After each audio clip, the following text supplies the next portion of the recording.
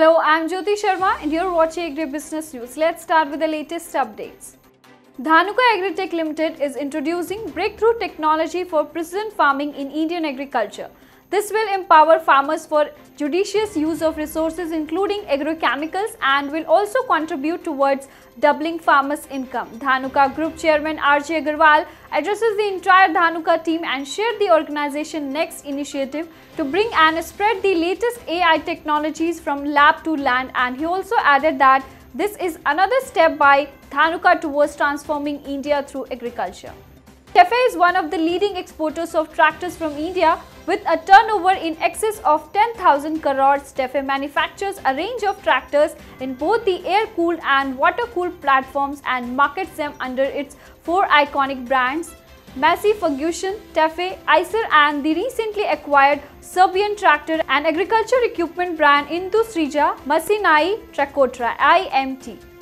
VST Tiller Tractors announced the launch of VST 171 DI single cylinder tractor in the Gujarat market, customized for applications like land preparation, intercultivating and haulage. The 17 HP single cylinder tractor is ideal for small farmers to use in their groundnut, soybean, cotton, castor fields and orchards.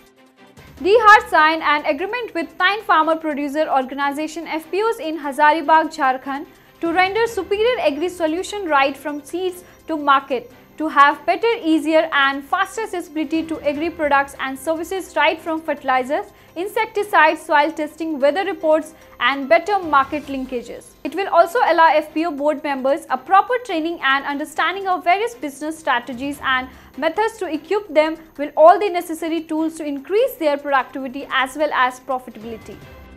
Vishvas Tractors inaugurated a new dealership at Faridabad. Vishvas Tractor Limited believes an organization's success depends on its ability to foresee a future that is revolutionary and set a new rules. In the last few years, company has bagged several business orders in Sri Lanka, Nepal and Bangladesh.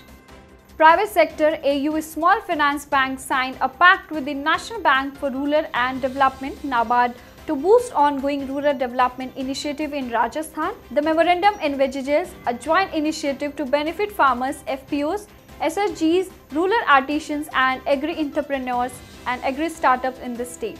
Sanjay Agarwal, Managing Director, AU Small Finance Bank said that this tie will give a boost to the process of lending in the state, especially in areas related to agriculture and rural development. Saraswati Agro Life Sciences India Private Limited Punjab participated in the 110th All India Farmers Fair and Agrochemical Industrial Exhibition 2021 at GB Pant University of Agriculture and Technology, Uttarakhand and their stall has adjudged with the first prize in pesticides and biopesticides group. The display was greatly appreciated by the vision of the exhibition and farmers fair. Fasal has won the prestigious award for Best Use of AI in Agriculture in Global Artificial Intelligence Summit and Awards 2021. They thank All India Council for Robotics and Automation for this recognition. Vancouver-based food manufacturer Big Mountain Foods is partnering with Sprouts Farmers Market to be the first to launch a Lion's Mane Mushroom White Globe shaped fungi product line across North America beginning in October 2021. For more agri updates, keep watching Krishi Jagran. Thank you.